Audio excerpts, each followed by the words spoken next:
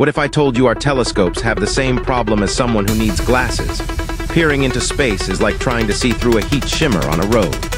The Earth's atmosphere distorts light, making stars twinkle but blurring the finer details of galaxies far, far away.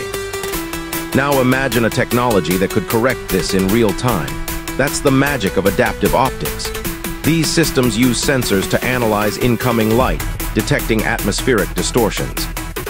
Then tiny, precisely controlled mirrors warp and flex to counteract these effects, acting like a dynamic contact lens for the telescope. The result? Images so crisp, it's like the atmosphere vanished completely.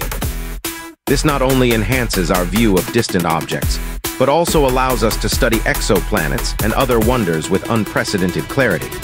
It's like going from blurry vision to 2020, letting us unlock the universe's deepest secrets.